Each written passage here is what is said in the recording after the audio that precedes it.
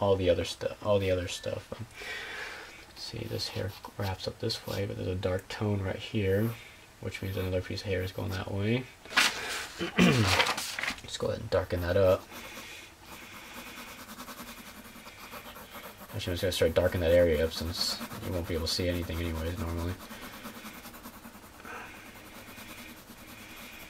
So this kind of gives the illusion there's a piece of hair here, there's another piece of hair here. Go. This one folds up and around it. Nice, nice dark spot right here.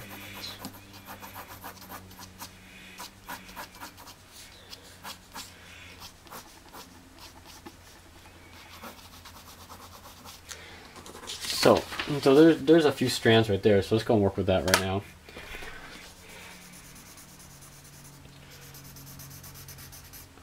With hair I usually follow the actual direction of the hair myself so. It's really really dark here. It fades out a little bit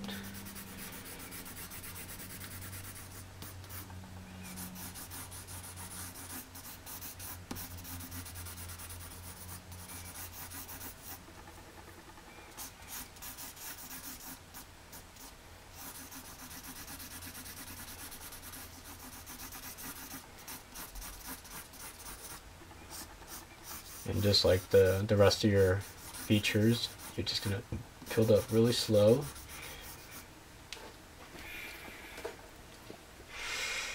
Let's see get rid of this hard edge line here.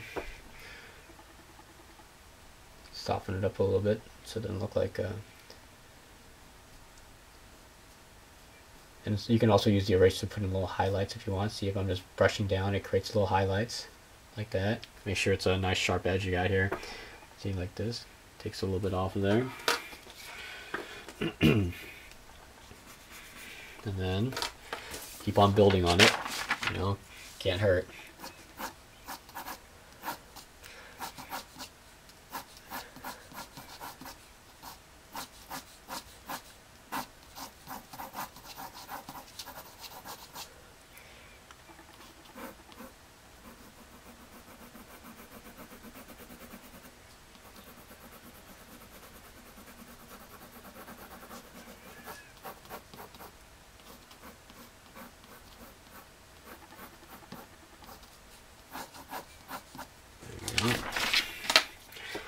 a little more here. See if you guys see that? Good.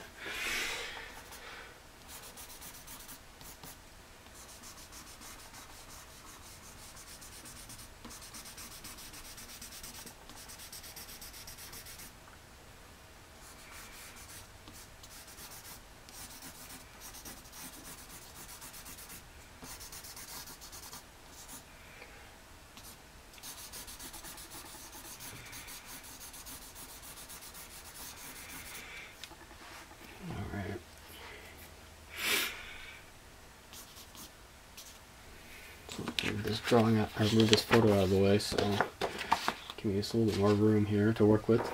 And you notice I haven't sharpened my pencil in forever, so let's go and do that. I'm being really bad this time around. I usually sharpen a lot more.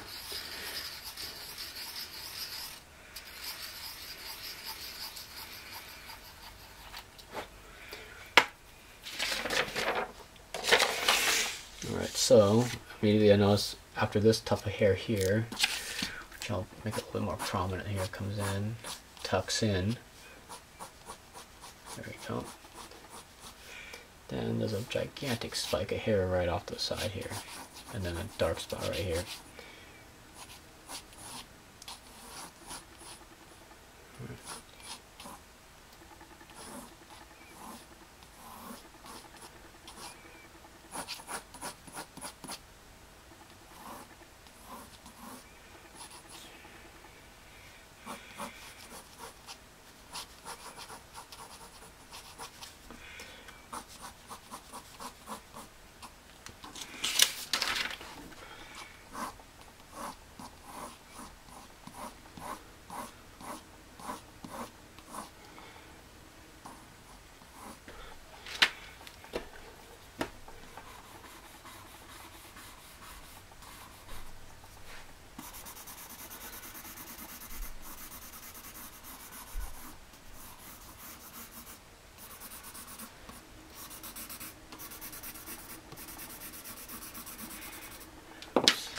Darken this area here.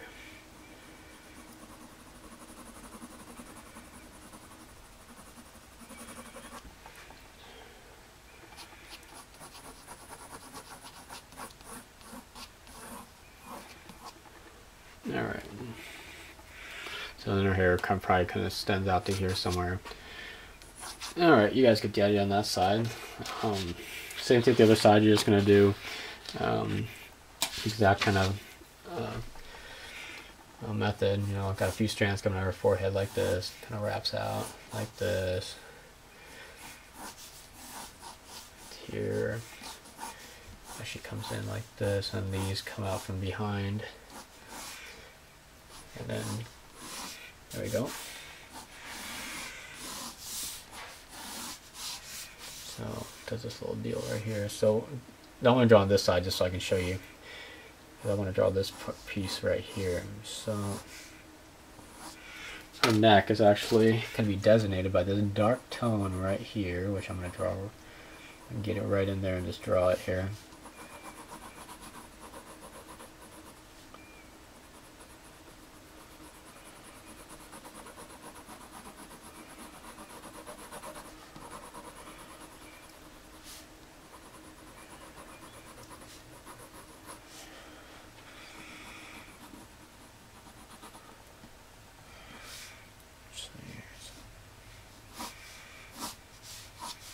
Guess her hair falls out like this.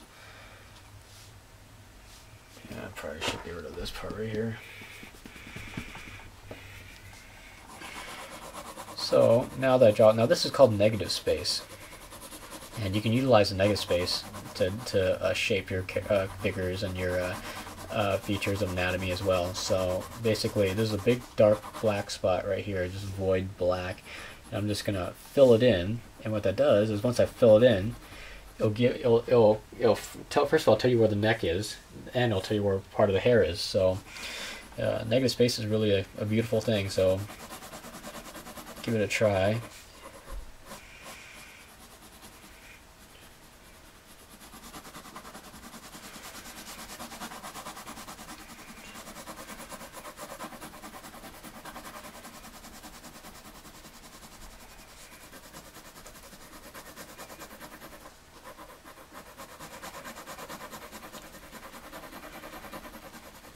see that? So now once you fill it in, now you know where her neck is, you know where the side of her hair is. So all the hair comes out over here, like so.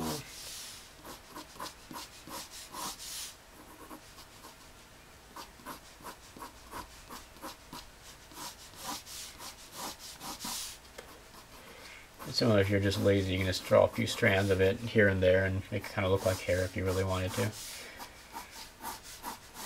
There we go.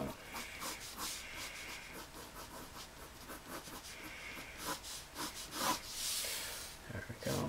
There's actually more hair, but I ran out of paper. So, what I'm to do is I'm going to end the video here. I'm going to post this up on Flickr. Um, so, I uh, hope you enjoyed this video, especially you, Zomo, and Picasso Paul. Uh, this video is made for you. Um, if you have any questions, you know where to find me. I'm on uh, Flickr and you know uh, what my email is. So go ahead and drop me a line. Let me know how I did. Um, or if you you know have any questions about um, uh, my techniques or anything like that, uh, feel free to just drop me a constructive criticism. I'll be happy to respond. All right. So from me, Jason, uh, I'll talk to you guys later. Good night.